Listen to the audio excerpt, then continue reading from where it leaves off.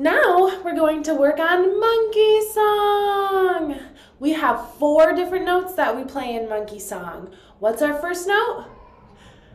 A. All of these notes are on the A string. So we start with open A. You're to sing the letter names while I play. A, A, A, A, A, A. Then we put our first finger on the A string. Make sure it's on the A string, not on the E string. We got to slide it over or hop it over to the A string. First finger is B, B.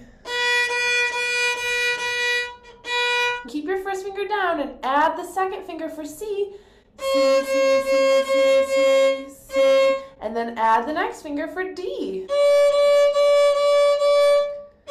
And now we're coming down the ladder, same note. I'm a little D, D, climbing down the C, C, climbing down to B, B. Then we're playing A, A. So we have A, B, C, D, D, C, B, A. And I want to keep reminding you that your fingers and your bow should be on the A string. So when we're on the A string, our bow isn't quite as low as the E string, it's a little bit higher up. And our finger is going to be hopping a little farther over. Let's play monkey song together. Violin up, on your shoulder, mirror hand, bow hold check. And we're starting on A. Ready and uh, go now.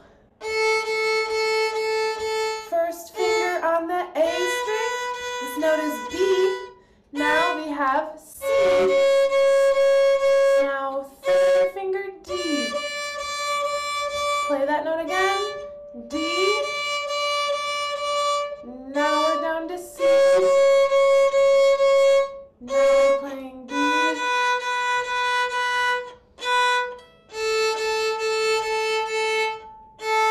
Awesome job. One more monkey song and now I'm going to show you from this angle.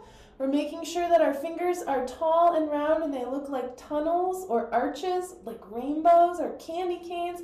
We don't want them to be squished and flat like this, like pancakes. Let's do one more monkey song. Make sure your bow is on the A string. Make sure your fingers are ready to go. Open A, we play now.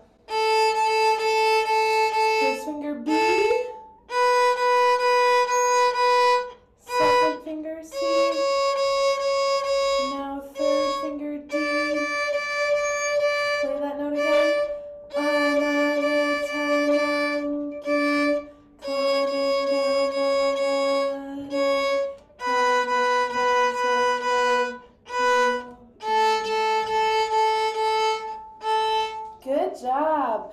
Rest position, take a bow. High toes, high toes, high toes. Now keep working on monkey song.